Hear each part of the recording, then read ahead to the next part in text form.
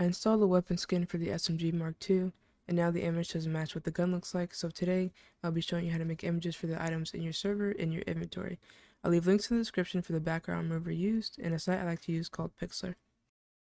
Right, so first you need to find the image you want. I'm just here on Google Images, so we'll go with this one, and once we're here we're going to copy the image, and then we're going to go to the background remover site,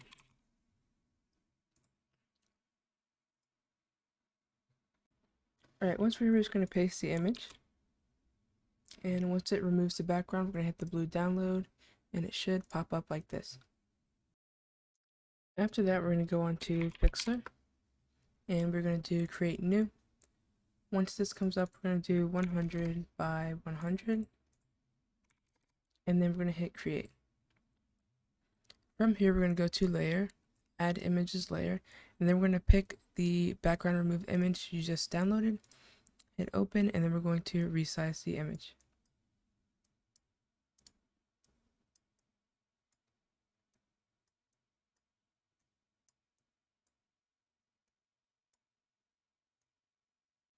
Alright, after you've resized it and it looks how you want it to, we're going to go File and we're going to Save. We're going to save it as a PNG. And then I'm just going to do MP5K. And then we're going to save that. Alright, after you save that, we're going to go to the downloads and we're going to copy it from there. Next, we're going to go to QB inventory or whatever inventory script you use.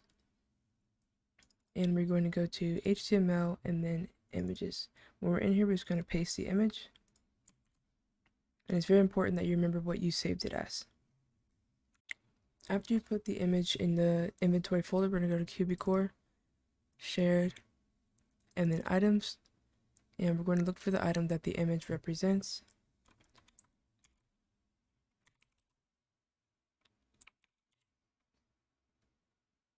So I'm going to look for the SMG Mark II.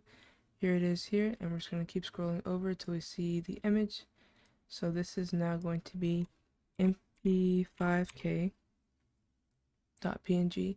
and here's where you can also rename the stuff. Uh, of course, where it says label, not the name and then we're going to hit file and we're going to save.